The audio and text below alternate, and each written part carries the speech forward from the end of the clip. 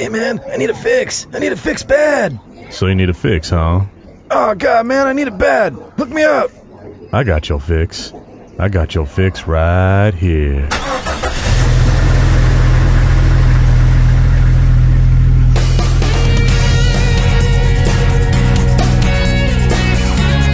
All right, Jeep Junkies, we know you're jonesing for a midweek fix, so we're going to hook you up with a little midweek XJ Talk Show to tide you over.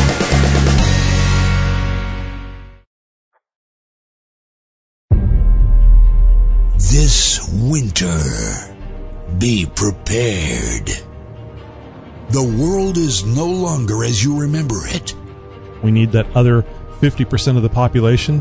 There is nowhere to hide. You know, you have the ability to use your communications device for something more than a flashlight because that's what a cell phone is going to be when all the cell towers go down. You, you got trees that are four feet in diameter and they got to get them off the trail.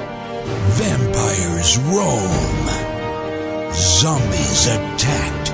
Glass all over the ground and on the driver's seat. Oh man. Even in the dark, there is still hope. Gorilla tape. Good versus evil. In order to make this happen, you guys have to go to xjtalkshow.com. 4x4 podcast. To save the world for the better. Coming soon this winter. Hey guys, we're back with another interview. It's been a pretty good while since we've had an interview, and uh, actually, we're lucky enough uh, that uh, Jesse here was uh, beaten up on me saying, Hey, I want to be on the show. I want to do an interview. I want to tell you guys about my uh, quarter mile XJ naturally aspirated 4.0 liter engine. Jesse, I don't think it could be done, but before we get into that, let's hear let's hear a little bit about you. What uh, uh, your name is Jesse Rider. Where you located, and uh, you know just some background about yourself. Right on, man. Well, thank you for having me. Uh, my name's Jesse Rider. I'm the owner and chief mechanic of Team XJR out of Eagle Point, Oregon. And um, what we're doing is trying to beat a time set by Cherokee XJR of 12.9 in their Turbo XJ, and we're going to do it with a naturally aspirated motor. Now, how in the world do you think you're going to be able to accomplish that? That that is pretty damn fast. Um, the main thing for us is is finding out what works and what doesn't, and um, trying to combine everything together. Uh, right now, we've got a good MSD ignition system on there, uh, stage two K&N cold air intake, um, custom exhaust by Flowmaster. I mean, that was the big thing. Our sponsors, Flowmaster, hooked us up with a modified Scavenger Series header and a full entire uh, header back exhaust system. Um, also running uh, BBK 62 millimeter throttle body, uh, oversized injectors, and uh, a handful of other stuff. Um, one of the biggest things that's going to give us a good amount of horsepower is an aluminum head, and uh, there's only one company that makes those, and that's Hesco. They run you a pretty penny, but it's also a big boost in horsepower. Oh, that's interesting. I didn't realize it was a big boost in horsepower. I realize, I mean, I understand the lighter it is and the more horsepower you have, the faster you're going to go. Uh, but I didn't realize that that actually was a boost. I guess what I did was I looked at the Hesco head and I went, "Oh, so pretty! Oh God, so expensive!" Turn page, move forward in yeah, the browser. Exactly. and you know, one of the things that that really helps out with that head is is being that the four liters run so hot, and um, with that aluminum head, the uh, air fuel mixture is setting off a lot cooler than it would with the cast uh, cast iron one that comes with it. Well, that's interesting. I, I didn't realize that. Uh, hmm. You're getting me thinking here, uh, Jesse. I, I don't want to spend that kind of money. What are those things? They're about a grand, aren't they? Uh, eighteen hundred dollars is uh, directly from Hesco. Yeah, they're a pretty penny. You know, it's it's a it's one that's really really hard to justify. But if you're going to make it fast, you got to spend the money. Oh yeah. I mean, if if you're gonna don't go out there to play unless you're going to pay. I mean, uh, and it's great that you've got sponsors. You kind of you kind of hit on that. What uh, what sponsors do you have for this uh, this this mad thing that you're trying to do? Uh, our biggest supporters, our biggest sponsors by far, Flowmaster, B&M, and Hurst. Um, the people there, you know, they really care about the little guy. Um, our team is small. We got one build that we're working on, Project White Thunder, and um, you know, later on down the line, we'll probably do an off-road project with a full-size waggy. But um, yeah, I mean, Flowmaster, those are our, our people. I mean, they're just great, and uh, you know, every time we're in a crunch, they always got our back. So I mean, big shout out to those guys. Oh, that's great. It's great to hear too, because uh, this isn't a money making deal for you. This is just a hobby that you're trying to do, and uh, these sponsors have jumped in and, and helped you out, which is uh, just great to hear. Surprising to hear. It's it's very nice to to know that somebody can have a dream, and uh, all you have to do is uh, be driven towards that dream. And uh, there's uh, companies that'll help you out. I mean, I'm sure it'll help them to uh, sell their product. And I, I, know it's not a altruistic uh, endeavor that they're going for here. They they want to promote their product, but you know, I could see them doing that towards somebody that had, uh, oh, gee, I don't know, a hundred thousand dollar XJ trying to uh, out on the Bonneville salt flats trying to break seven hundred miles an hour. Now, did I just give you an idea, Jesse? Is that what you might try in the future? you know, um, you you really nailed it. I mean, uh, there's so many people out there with a lot more uh, financial backing and and a lot more, uh, you know, available to them. This is something that I fund uh, out of my pocket. Uh, all our builds. I mean, as far as parts go, we get help from time to time, but uh, you're you're right. I mean, this is a, a hobby of mine. It's something that makes me happy, and I enjoy doing. And uh, yeah, I mean, we're we're the definition of mom and pop. You know, just starting out and doing what we love. Well, tell me what you've done so far. Now, I believe you said you've already done some 13, 13 second quarter miles. Is that true? As of right now, we're running a thirteen nine in the quarter mile. Um, I want to try and lighten up the XJ without butchering it because you know I, I love my Jeep. Um, we have our uh, the PCM is performance program by Superchips, and I'm also running a flash pack, which helps out a lot with the motor running at its full potential. You know, it's letting it know just how far it can go, and that that was a big boost for us. Well, that's interesting. I uh, I might actually talk to you a bit about that offline. I've been having some issues with mine since I put my crane cam and uh, 60 over pistons, and uh, it sounds like I didn't realize that somebody could flash the ECM on those things. It might be worth me getting one and and letting them do some stuff to it. See if I can't uh, open mine up a little bit. And that's the thing. A lot of the stuff that we've done to this project is stuff that people didn't know was available for the 4.0. Um, for example, the header we're running, um, they don't usually fit. It's a scavenger series from Flowmaster. They usually only fit Wranglers, and the techs at Flowmaster actually modified a few of the pipes so everything would clear. So my XJ is the only one running that particular header in the whole entire world. Well, that's interesting that you mentioned the Wrangler because it seems to me that's the thing you see most people uh, doing super modifications to. You know, making it very torquey. I'm sure we've all seen the video where the uh, the Wrangler's in the parking lot doing a, a, a, tight circle, and he actually flips the thing because of the torque and the uh, uh, from the engine.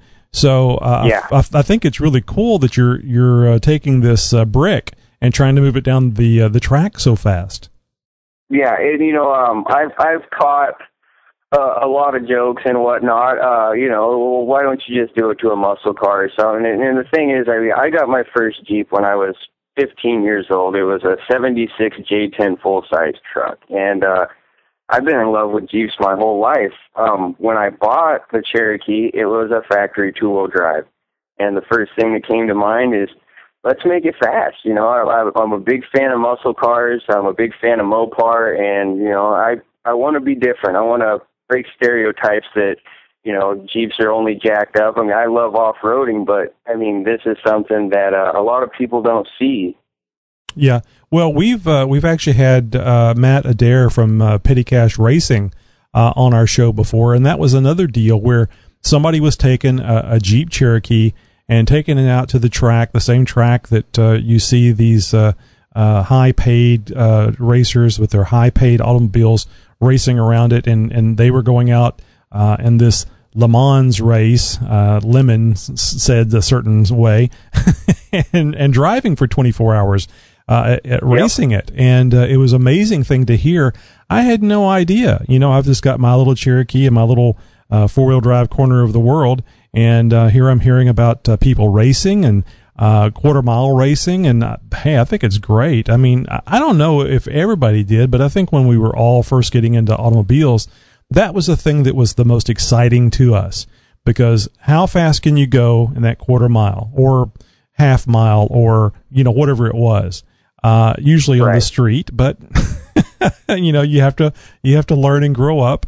Uh, i personally got out of doing that stuff because uh, i didn't ever think i was going to kill myself. I figured i was going to kill somebody else either a passenger or somebody i hit uh, so that's the reason why i got into trucks and jeeps was because i needed something that i could uh, not go not feel like i needed to go really fast in Right, right. Yeah, understood. I mean, um, uh, usually with my project, it, people either love it or they hate it. You know, there's a lot of people out there that say Jeeps aren't for going fast, and you know, it's it's pretty much correct. But the thing is, I mean, the four liter engine is such a great engine. There's so much out there that you can do to it. And a lot of people have said, well, you know, drop a small block in. it. And it's like, well, that takes away from the originality of what we're trying to do. We're trying to take the original power plant and just beef it up as much as we can and, and just make it something that's breaking the mold. Now, is this a stroker, or did you say something or a post or something about going to a stroker in the future? Um, after in, in August, we're going to be trying to break uh, Cherokee XJR's 12.9 second quarter mile run, and we're going to do it in a naturally aspirated four liter. After that's done, we're going to turn it into a 4.8 stroker with a Eaton M90 supercharger on it. And um, I've talked to a lot of techs, and they said it can be done. One of the things you got to do is run a smaller pulley, and get you'll get about nine to eleven psi out of it, forced induction. Okay. Now, let me ask you. I don't want to go too far off on the technical side of the side of things, but um, I've I've learned because of what I was uh, doing with my engine that the springs that come uh, with the 4.0 head really aren't strong enough for much of a cam. In, in fact, with Right. the, the crane cam that I'm running, I'm at the edge, and I think that's what's causing my problem. I kind of have a uh, it al- almost seems like a valve floating issue between 4200 and 4500. After 4500, it lights right up all the way to 5000, which isn't very far, but you can physically feel that it's taken off.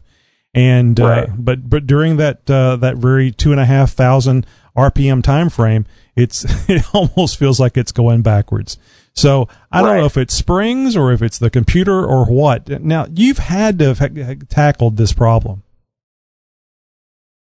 Oh, excuse me. You have had to have tackled this problem with the, the, the weak springs on the head. You know, um, as far as as with the PCM and the horsepower that we put into it, um, we're still working out some bugs. But um, I mean, nothing really too major. It's just uh, it's just a matter of trying to tune everything in so I don't blow the thing up or break something. You know, I got to be able to go down the track successfully. So basically, you haven't had an issue with any valve floating because the springs aren't uh, uh, strong enough or quick enough. Are you using stock springs on yours? Yes, yes. Um, we haven't really dipped into the internals too much, but um, it's a low mileage XJ. Um, that might, you know, have some help in our scenario.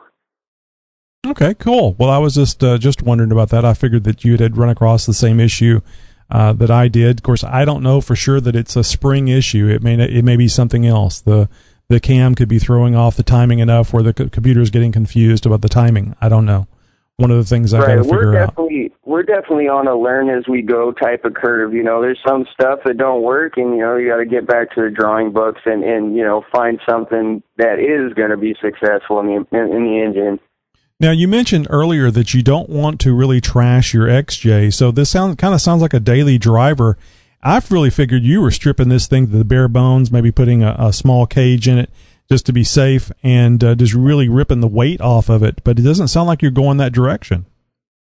You know, sir, you're exactly right. Um, this is my daily driver. I drive it to work every day. Um, the thing with it that that is definitely beneficial to me, being a two wheel drive, it's about 600 pounds lighter than a four wheel drive XJ, just due to the four wheel drive components, you know, T case, uh, front axle, stuff like that. Um, we weigh in car and driver uh, with my jack and subwoofers and everything, right around 3,200 pounds.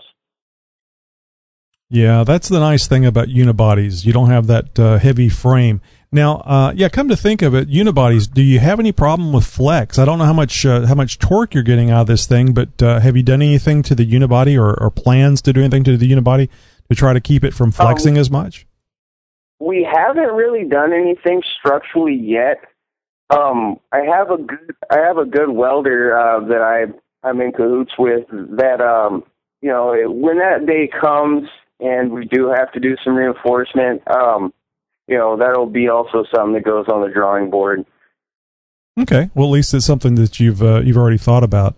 Yeah, I was just curious. I, I, I may be it may be uh, several uh, thousand horsepower and a lot more uh, uh, torque feet that uh, requires that, but it crossed my mind that I know when you take them out and wheel them and you twist them up, you can kind of cause a a weakening of the the unibody and uh, I could well imagine that uh, going down the uh, the track uh, could uh, repeatedly could do the same thing.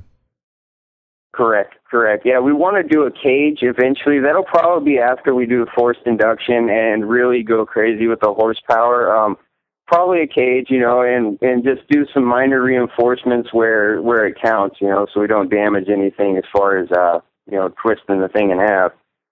So this thing still has the glass and everything in it, and, and as far as long term plans, you don't ever plan on having this not be a daily driver, do you? No, no. Um, actually, after uh, after the forced induction, uh, we're not going to go too much crazier with it.